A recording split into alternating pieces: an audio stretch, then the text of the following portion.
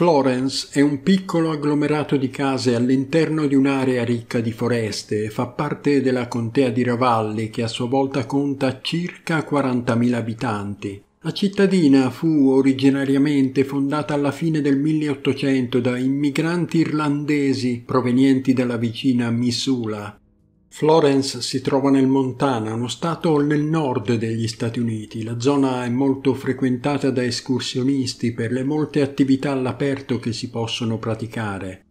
I turisti spesso vengono da fuori dallo Stato per la fauna selvatica, per visitare le foreste nazionali oppure per godere dei meravigliosi panorami o per fare trekking. A Florence tutti si conoscono. È uno di quei posti dove non devi preoccuparti di chiudere la porta di casa perché qui non è mai successo nulla di grave. Almeno fino a quel maledetto 6 novembre del 2001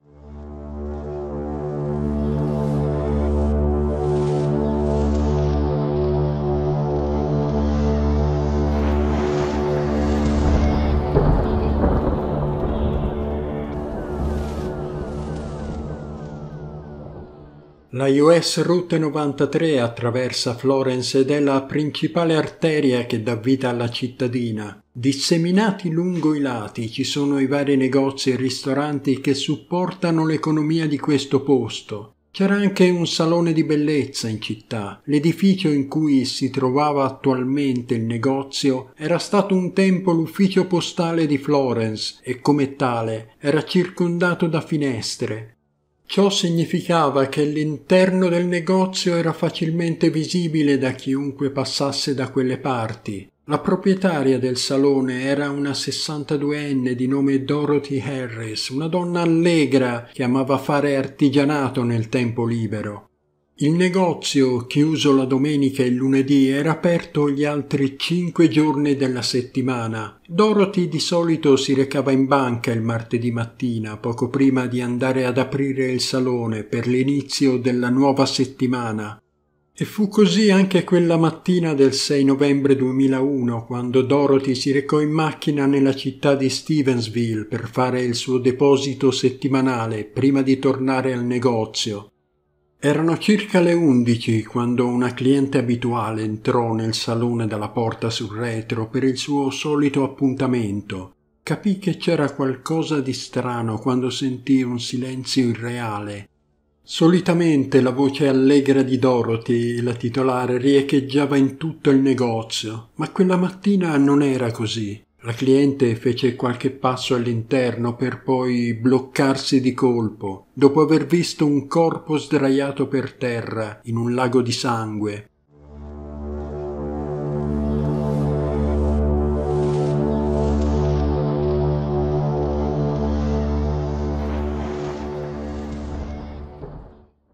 Ed era proprio lei, Dorothy Harris, l'adorata signora di 62 anni che era diventata un punto fermo della piccola città di Florence. Era rannicchiata in posizione fetale, quasi come se stesse dormendo. Ma era morta Dorothy. E non era la sola. La cliente scavalcò il suo corpo per raggiungere il telefono e chiamare i soccorsi. Non sapeva che c'erano altri due corpi nel retro del salone corpi che gli agenti trovarono dopo aver ispezionato tutti i locali al loro arrivo. Le altre due vittime erano Brenda Patch e Cynthia Paulus, due donne che si erano trovate nel posto sbagliato al momento sbagliato. Brenda era una donna di 44 anni che lavorava all'interno del salone come manicure. Cynthia Paulus era invece una cliente abituale di 71 anni, aveva un appuntamento fisso per venerdì mattina, ma aveva cambiato i suoi piani per andare a una partita di basket dell'Università del Montana più tardi quella sera. La polizia ipotizzò in seguito che le due donne fossero rimaste da sole nel negozio quando arrivò l'assassino. L'uomo potrebbe averle costrette a nascondersi nel ripostiglio in cui furono poi trovati i loro corpi. Lì probabilmente le costrinse a inginocchiarsi prima di porre fine alle loro vite in modo violento. Si pensava che Brenda Patch e Cynthia Paulus fossero state le prime ad essere uccise, poi sarebbe toccato alla proprietaria del salone, Dorothy Harris, tornata al negozio pochi minuti dopo. La titolare fu uccisa sulla porta da cui era entrata con le stesse modalità delle altre due vittime, insomma una morte di una violenza inaudita. Secondo gli investigatori tutte e tre le donne erano state assassinate con uno strumento affilato. A tutte e tre era stata tagliata la gola con profonde incisioni che rendevano particolarmente macabra quella strage.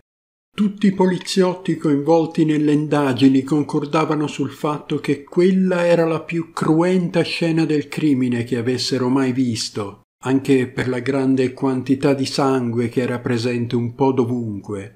Fin dall'inizio quel crimine aveva scioccato tutti coloro che vivevano nella città di Florence e nei dintorni. Questo piccolo paese che contava meno di mille abitanti era abituato a piccoli episodi di delinquenza ma un crimine violento come quello non si era mai visto, specialmente perché commesso lungo la strada più trafficata della città, in pieno giorno.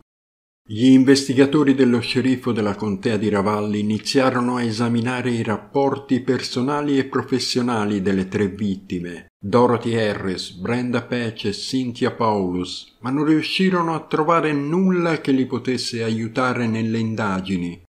Furono esaminati i rendiconti finanziari, le assicurazioni, molti tabulati telefonici e raccolti campioni di DNA, oltre a impronte palmari da un certo numero di familiari, amici e altri conoscenti. Trovarono una parente della titolare del salone che aveva avuto un rapporto controverso con la vittima. In seguito però la donna fu scagionata dopo aver fornito un alibi inattaccabile Eppure era tutto molto strano. Nessuna delle tre donne assassinate era il tipo da avere nemici, specialmente quel tipo di nemici che uccidono a sangue freddo senza alcun riguardo per la vita delle persone. Lo sceriffo Johnson e i suoi uomini faticavano a collegare quell'orribile crimine a una qualsiasi delle vittime, in particolare la proprietaria del salone Dorothy Harris. Gli investigatori credevano che non fosse stata lì quando le prime due donne furono condotte nel piccolo ripostiglio e uccise, quindi era improbabile che fosse lei il principale obiettivo. La donna stava tornando dalla sua banca nella città di Stevensville, che distava circa otto miglia dal salone, un viaggio che richiedeva tra i quindici e i venti minuti in macchina. La polizia fu in grado di stabilire che Dorothy era andata in banca circa 30 minuti prima della scoperta dei corpi, il che significava che le tre donne erano state uccise pochi minuti prima che la cliente entrasse dall'ingresso sul retro e scoprisse quella macabra scena. La donna ricordava di aver visto un uomo vestito in modo strano allontanarsi dalla porta principale del salone. Quella testimonianza fu ritenuta attendibile dagli investigatori perché altre persone confermarono di aver visto quell'uomo misterioso. Fu descritto come un giovane tra i venti e i trent'anni, alto circa un metro e ottanta, con un viso affilato. Per qualche giorno circolò addirittura la voce tra i locali che potesse trattarsi di una donna, L'abbigliamento del sospetto attirò l'attenzione dei media, sembrava che portasse un insolito cappello a tesa larga, forse un fedora oppure un cappello a cilindro. Indossava anche un cappotto di pelle nero lungo fino al polpaccio. Insieme questi due elementi lo rendevano più simile a un fuorilegge del XIX secolo che a un sospettato di omicidio del 2001. Diversi cittadini della zona circostante ricordavano di aver visto quell'uomo allontanarsi dal salone poco dopo l'omicidio. Il giorno in cui i corpi furono trovati nel negozio, gli agenti di polizia usarono un cane addestrato nel tentativo di rintracciare l'uomo vestito in modo strano. Il segugio fiutò le tracce del sospettato sull'erba davanti al salone così come in un vicolo vicino al negozio. L'ufficio dello sceriffo della contea di Ravalli si occupò del caso sin dall'inizio e negli anni successivi chiese aiuto ad altre autorità nel tentativo di catturare l'assassino o gli assassini. Furono contattati membri dell'FBI, dell'ufficio del procuratore degli Stati Uniti, della DEA, del servizio Marshall degli Stati Uniti e di altre forze dell'ordine locali per assistenza. Furono interrogate decine di persone in Montana e anche in altri stati e scritte migliaia di pagine di rapporti, insomma nulla fu lasciato al caso. Sembrava che quell'uomo vestito di nero si fosse fatto strada tra le strade secondarie di Florence e poi attraverso il parcheggio della scuola, prima che l'odore si perdesse in un pascolo vicino, lungo One Horse Creek Road. Quell'area era a circa quattro isolati dalla scena del crimine. Il giorno successivo fu portato fuori un altro segugio nel tentativo di captare ancora una volta l'odore, il cane stavolta riuscì a fiutare le tracce fino a una casa dall'altra parte della strada e lì si fermò. Il proprietario di quella casa, considerato dalla polizia come fisicamente incapace di commettere i crimini, fu scagionato quasi immediatamente dall'accusa. Tuttavia il percorso di fuga di quell'uomo lasciava agli investigatori molti dubbi. Aveva attraversato la città con abiti strani prima di scomparire del tutto a breve distanza dalla scena del crimine. L'FBI fu coinvolta per la creazione di un profilo dell'assassino. Secondo lo sceriffo Perry Johnson l'aiuto dei federali non servì a molto. Si trattava di trovare un profilo molto comune da quelle parti, ovvero cacciatori e uomini che passavano molto del loro tempo all'aria aperta. Insomma, quell'area era piena di profili simili.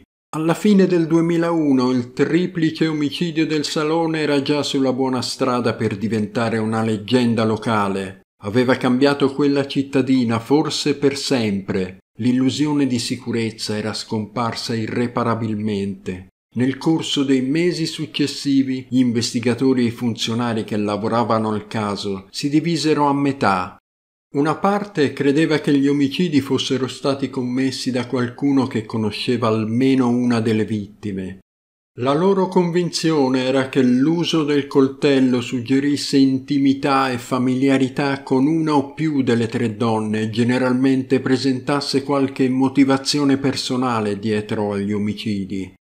Una parte dei loro colleghi però riteneva che quel crimine fosse il frutto di una casualità, un omicidio insensato motivato da un movente sconosciuto non facilmente decifrabile. Del resto, gli investigatori non avevano scoperto alcun movente, insomma quel delitto non sembrava motivato né da una rapina né da una violenza sessuale.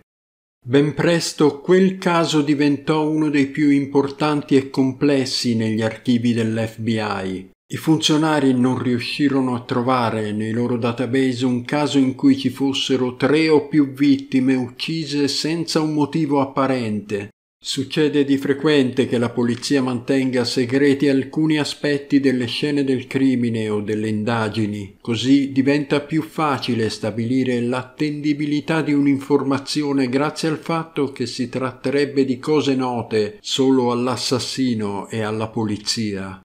Lo sceriffo Johnson rivelò che gli investigatori avevano un'impronta di un palmo trovata sulla scena del delitto, senza specificare se fosse quella di un sospettato o di un cliente. La strage del salone fu inserita nella banca dati dell'FBI, un catalogo nazionale dei crimini. Johnson e il suo staff ripensarono ai delitti irrisolti con cui avevano avuto a che fare in passato, due dei quali erano stati commessi con l'uso di coltelli.